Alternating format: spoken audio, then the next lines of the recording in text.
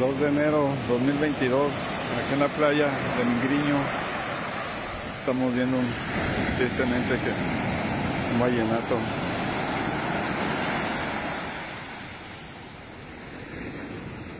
ya muerto.